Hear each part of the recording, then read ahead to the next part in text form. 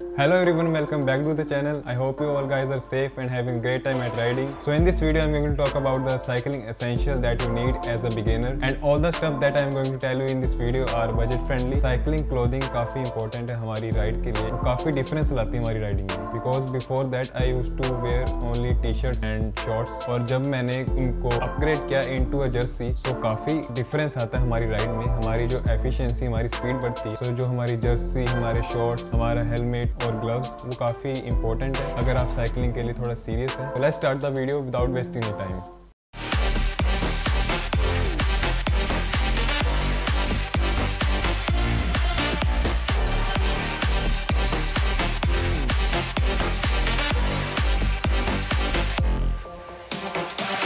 So let's start with cycling helmet. I will go in the order of from top to bottom like helmet, shades, jersey, shorts, gloves. The helmet I have is XMR helmet.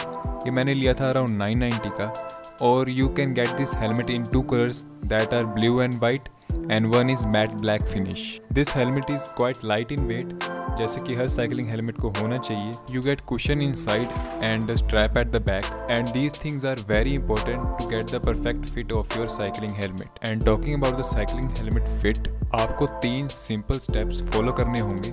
So the first step is आप अपने helmet के back strap को loose करें और simply अपने helmet को अपने head पर रखें। Then you have to bring a finger और आप अपने फिंगर को अपने हेलमेट और फोर के बीच में जो गैप है, वो चेक करें। अगर वो गैप एक फिंगर से ज़्यादा है, इसका मतलब आपका हेलमेट लूज है। So the next step is आप अपने बैक स्ट्रैप को, जिसको आपने फ़र्स्ट स्टेप में लूज किया था, अब उसको आप उतना टाइट कर लीजिए जितना आपके हेड पर कंफर्टेबली फिट हो। Then in the next step आपका जो फ्रंट वाला स्ट्रैप है, उसको आप टाइट कर लीजिए। टाइट आपने इतना करना है कि आपके चिन के नीचे जो एरिया है, उसके और स्ट्रैप के बीच में तीन फिंगर्स का गैप हो। सो ये वो तीन स्टेप थे। आपका हेलमेट इस तरह से फिट होना चाहिए कि अगर आप बिल्कुल भी जर्क करो या आप बिल्कुल भी अपने हेड को मूव करो तो हेलमेट बिल्कुल भी मूव नहीं होना चाहिए। Now the next thing is shades now talking about the shades shades शायद आपको थोड़ी ऑकवर्ड लगे शुरू शुरू में जैसे मुझे लगती थी बिकॉज़ ये शेड्स थोड़ी वो वाली वाइब्स देती हैं जो धूम में अभिषेक बच्चन की थी। Just joking shades are really important को जिस दिन कभी हाईवे पे राइड कर रहे हो तो आपको उस दिन इनकी इंपॉर्टेंस पता चलती है। आज तक कभी भी इनके बिना नहीं राइड किया। So the shades I have are Decathlon S D और ये शेड्स थ्री कलर्स में आती हैं black transparent and yellow shades काफ़ी लाइट वेट है फ्लेक्सिबल है बट इनकी एक कमी है और वो है इन पे स्क्रैचेस इजीली पड़ जाते हैं। सो so, अगर आपने ये वाली शेड्स लेनी हो तो आप ले सकते हैं। काफ़ी बजट फ्रेंडली है सिर्फ़ 400 की मिलती है एट डी कैथलोन और इनकी क्वालिटी अच्छी है बस स्क्रैचेस का थोड़ा सा इशू है। अदरवाइज़ ये बेस्ट है। Now this is the most under thing and the most important thing जो मुझे लगता है, है एक साइकिलिंग क्लोथिंग में वो है balaclava so guys I am riding from past two years और इन दो सालों में मैंने हमेशा बाल क्लावा को यूज़ किया है। It saves you from tan it saves you from all the dust ये काफ़ी लाइट वेट होता है और आपका सारा स्वेट है, उसको ये एब्जॉर्ब कर लेता है जब आप किसी हॉट डे पर राइड कर रहे हो। और ये उस स्वेट को एब्जॉर्ब करने के बाद इवेपोरेट कर देता है, जिसकी वजह से आपको कूलनेस भी लगती है। सो so ये मुझे इसका बेस्ट फीचर लगता है। एंड आजकल तो आपको पता ही है, क्योंकि हमें सबको इंस्ट्रक्शन दी जा रही है कि आप अपने फेस को कवर करके रखें। आजकल मास्क डालकर राइड कर रहे हैं जो काफ़ी डेंजरस हो सकता है। आपको ब्रीदिंग प्रॉब्लम हो सकती है बट इसको डालने से आपको कोई ब्रीदिंग प्रॉब्लम नहीं होती। मैं पिछले दो साल से इसको डालकर राइड कर रहा हूँ और so far I had no breathing problem and let's talk about the main thing that is jersey and most of you may be new here so जो मेरे चैनल का नाम है ब्लू राइडर अजय वो मेरी जर्सी पर ही पड़ा है क्योंकि मेरी जर्सी है वो ब्लू कलर की है। But my favourite colour is white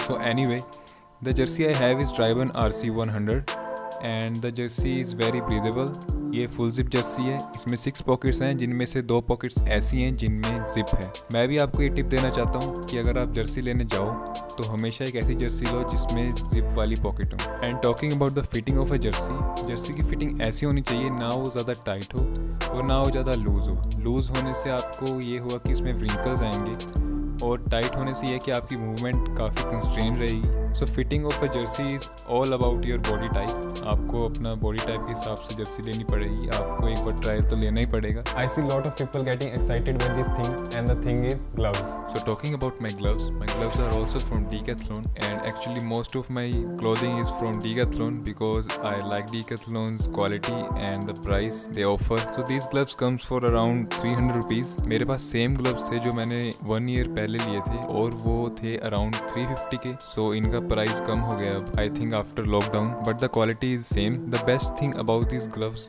is that they provide a really good grip and the cushion that is use in them is really comfortable for long rides because अगर आप gloves नहीं डालोगे तो आपके जो hands है, उसमें redness होनी शुरू हो जाती है। क्योंकि जो हमारा पूरी बॉडी का प्रेशर है, वो हैंड्स पर ही लग रहा होता है जब अपने हैंडल को पकड़ा होता है। So gloves are really important for the health of your hands and in the worst case अगर आपका कोई क्रैश हो जाए तो जो ग्लव्स हैं, वो आपके हैंड्स को सिक्योर करके रखेंगे और अगर मैं आपको अपनी बात बताऊँ तो मैंने सबसे पहले हेलमेट ग्लव्स इन दो चीज़ों को सबसे पहले लिया था because safety is the number one priority so आपको पहले अपनी सेफ्टी रखनी चाहिए उसके बाद अपने कंफर्ट को देखना चाहिए क्योंकि जर्सी शॉर्ट्स बालकलावा शेड्स ये सब एक कंफर्ट के लिए होते हैं बट जो सेफ्टी है वो असली सेफ्टी है हेलमेट और ग्लव्स में The next thing is cycling shorts. And guess from where I got my shorts? Yes, Decathlon. So the shorts I have most basic one basic one that comes around for 750 rupees. अगर आपने और ऊपर जाना range में तो आप 1000 and 500 वाली भी ले सकते but so far these shorts are also performing good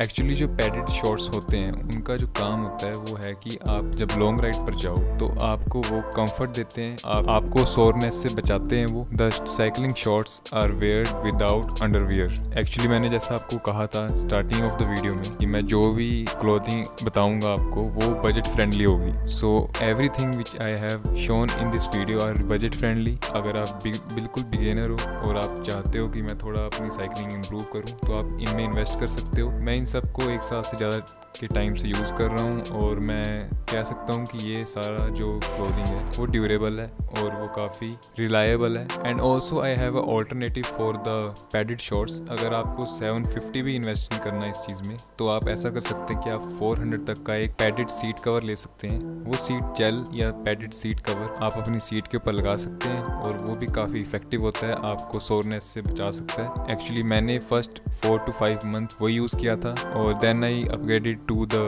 shorts so if you want to save more money you can go for that. So guys this was it for the video. I hope you like it. If you like then please give the thumbs up subscribe to the channel and share with your friends. I hope to see you all in the next video. Till then take care. Bye